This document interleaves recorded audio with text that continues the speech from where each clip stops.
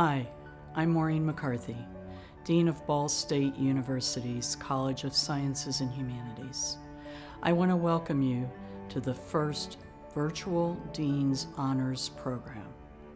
In the College of Sciences and Humanities, we prepare teachers, scientists, future physicians, writers, public servants, and many other professionals to become leaders in their fields and communities.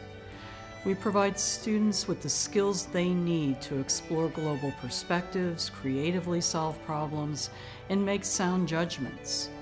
The humanities educate students to become effective communicators. The sciences inspire a culture of discovery, and the social sciences analyze and address society's most pressing challenges. This year, you have excelled in your studies and you've taken steps toward becoming a leader of the future. In fact, you earned the highest possible recognition in the college.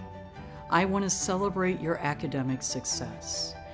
Each of you have already earned an overall grade point average that exceeds 3.5. More importantly, you've learned some of the most important skills that will allow you to be successful in your careers and in your future. You've learned to think critically, to analyze and solve problems facing our world today, and you're developing the skills to work effectively with colleagues. I also want to thank those of you who are watching this virtual ceremony. A special thanks to your friends and family who have supported you along the way. We, the faculty of the college, share with you, the parents, the families, spouses, and friends, a deep sense of pride. We are proud of our students' achievements and proud to have shared the learning process with them. We are delighted that you could join us in honoring them virtually today. We would like to send a Dean's Honor List Award Certificate to you. Please send an email to cshonorrec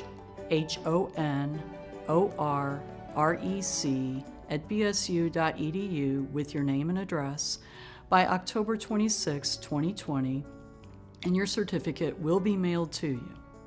Once again, Congratulations on your hard work and dedication.